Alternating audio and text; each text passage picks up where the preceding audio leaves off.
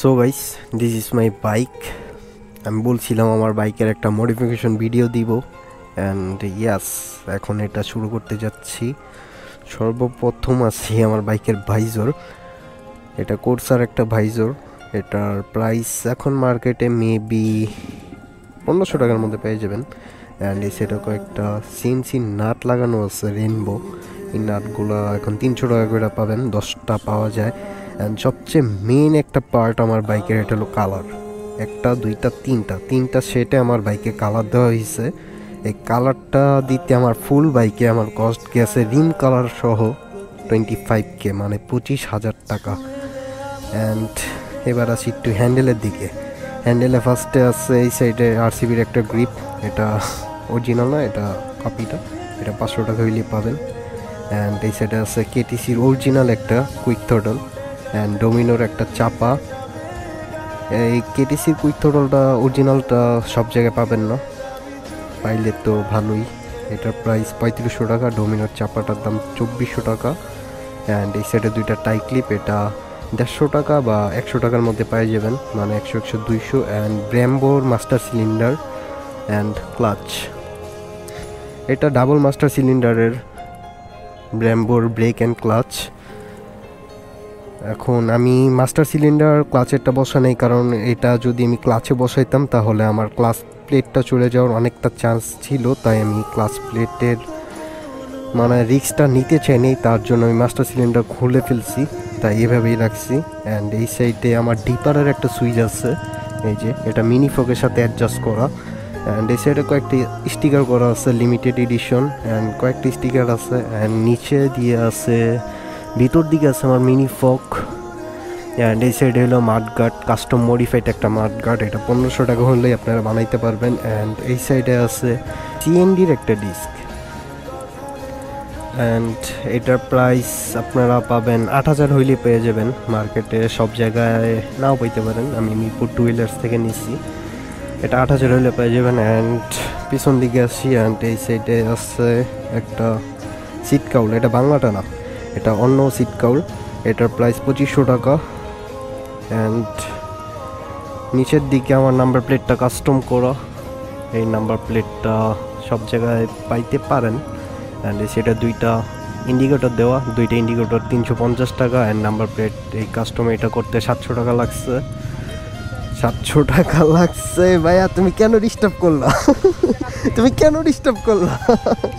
No no no কিসের permission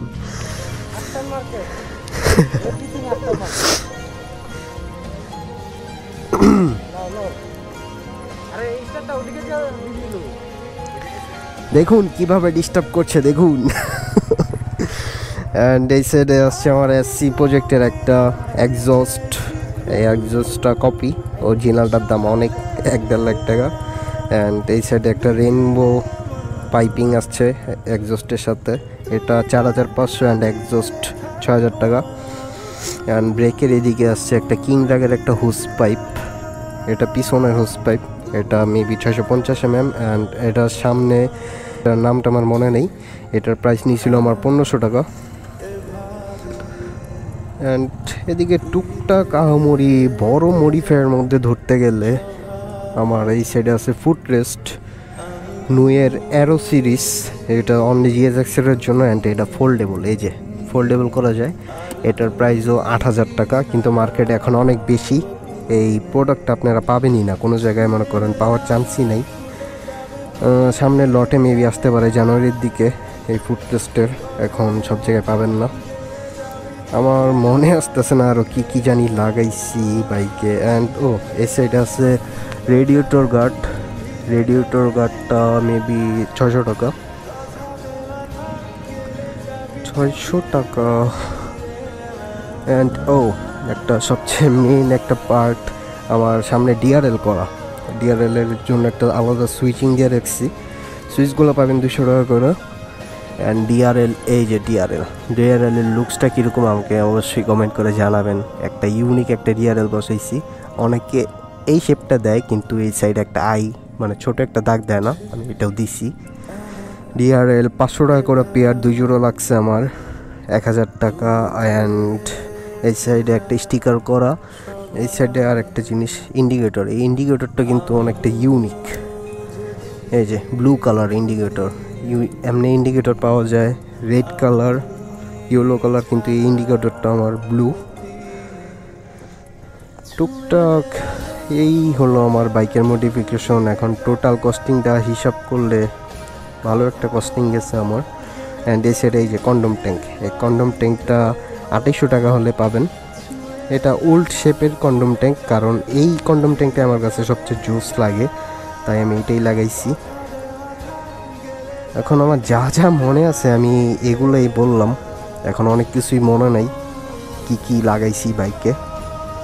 আমার মনে থাকলে আমি অবশ্যই বলে দিব যে আর কি কী লাগানো হয়েছে so that's it so guys আমার অনেক কিছুই মনে নেই বাইকে আরও কী কী লাগাইছি, তাই আমি একটা লিস্ট দিয়ে দিচ্ছি বাইকের যে আমার মডিফিকেশনের টোটাল কী পরিমাণ আমার কস্টিং গেছে অ্যান্ড এগুলোর খরচটার আমি সম্পূর্ণ একটা লিস্ট দিয়ে দিচ্ছি।